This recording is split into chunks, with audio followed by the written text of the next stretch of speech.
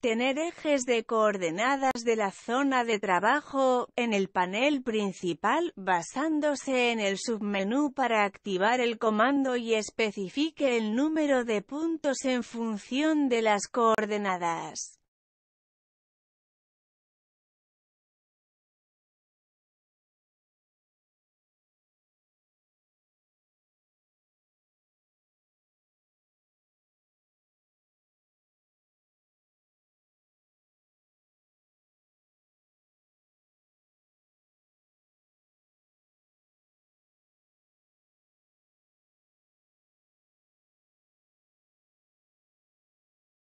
A continuación, utilizar un segmento de línea de comandos conectado en serie todos los puntos en la gráfica, la construcción de la línea discontinua, de acuerdo con las coordenadas dadas.